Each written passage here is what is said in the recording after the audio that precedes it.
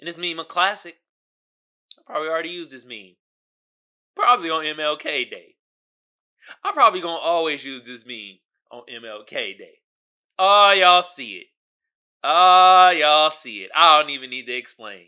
And MLK is smiling in the corner like. Mm, mm, mm. He see y'all think he's smiling because this black man is is whipping these three white dudes that's picking cotton. No, no, no. He's smiling because this black man is becoming economically equal.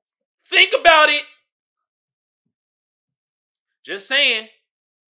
That's what MLK was really preaching. Y'all wasn't really, I mean, some of y'all was listening. You know what I mean? And I'll talk about of now, of this era.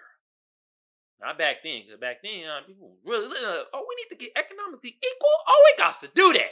I think we more on it now, though, like that. You feel me?